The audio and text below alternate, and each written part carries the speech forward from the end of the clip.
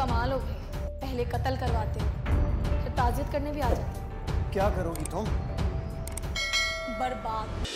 एक तुम ही तो हो जो मुझे डिजर्व करती हो। लेकिन मैं आपको डिजर्व नहीं करती। किसी दूसरे की तरफ़ आँख उठाकर भी नहीं देखूँगा। और दूसरी मैं बनूँगी। नहीं वेलकम व्यूवर्स कैसे हैं आप सब? आज की वीडियो में मैं आपके साथ शेयर करने जा रही हूँ पाकिस्तान के मशहूर ड्रामा सीरियल रंग महल की मेन एक्ट्रेस महापारा की लाइफ जी हाँ व्यूवर्स महापारा का रियल नेम सहर खान है। सहर खान को आपने और भी बहुत से ड्रामा सीरियल्स में देखा होगा इन, लेकिन इन्हें सही मकबूलियत इसी ड्रामा से मिली इससे पहले इन्हें कोई भी नहीं जानता था। आज की वीडियो में हम आपको इनकी लाइफ के बारे में बताएँगे की ये कहाँ पे पैदा हुई ये कितना बड़ी और इनकी फेवरेट एक्ट्रेस और एक्टर कौन है।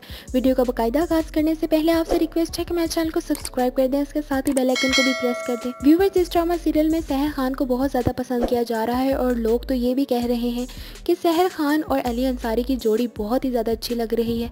अली अंसारी इतने अच्छे सबूर अली के साथ भी नहीं लगे जितने अच्छे वो सहर खान के साथ लग रहे हैं। और अगर बात की जाए सहर खान की पैदाइश की तो वो तेईस मई नाइनटीन को कराची में पैदा हुई और दो हज़ार इक्कीस में सहर खान अट्ठाईस साल की हो गई है। और अगर बात की जाए इनकी हाइट की तो ये फाइव पॉइंट थ्री इंचज है। और अगर बात की जाए इनके वेट की तो ये 5.5 केजीज हैं। इसके साथ ही आपको बताते चले इनके फेवरेट एक्टर के बारे में। तो इन्होंने अपने रिसेंट इंटरव्यू में बताया कि ये हमजा अली अब्बासी और हमायूं सईद की बहुत बड़ी फ़ैन है। इसके साथ ही अगर बात की जाए एक्ट्रेस की तो ये आयजा खान की बहुत बड़ी फ़ैन है। अगर बात की जाए इनकी पढ़ाई की तो इन्होंने मास्का में बैचलर किया है। इसके साथ ही इन्होंने टीवी सीरियल्स में 2018 से ज्वाइनिंग की। जहर खान का पहला ड्रामा सवारी था, जिसमें उन्होंने शमा का किरदार अदा किया। इसके साथ ही इन्होंने और भी बहुत से ड्रामा सीरियल्स में काम किया, जिसमें शामिल है। तेरी मेरी कहानी मुश्क, वफा करके चले। इसके साथ ही और भी बहुत से ड्रामा सीरियल्स में इन्होंने काम किया और इनकी एक्टिंग को पसंद तो किया गया, लेकिन इन्हें इतनी ज़्यादा मकबूलियत नहीं मिली जितनी इन्हें रंग महल से मिली। दोस्तों, अगर बात की जाए इनकी पर्सनल लाइफ की तो सुनने में आता है कि जैनब शुएब इनकी बहन है, लेकिन ये अपनी पर्सनल लाइफ अपने फैंस के साथ शेयर करना पसंद नहीं करती। और अगर बात की जाए इनकी शादी की तो इन्होंने अपनी रिसेंट इंटरव्यू में बताया कि अभी मैं अपना कैरियर बनाना चाहती हूँ और मैंने शादी के बारे में कुछ भी नहीं सोचा। तो व्यूवर्स हमें कमेंट बॉक्स में ज़रूर बताइएगा की आपको सहर खान की लाइफ के बारे में सुनकर कैसा लगा इसके साथ ही हमारे वीडियो को लाइक करना ना भूलिएगा।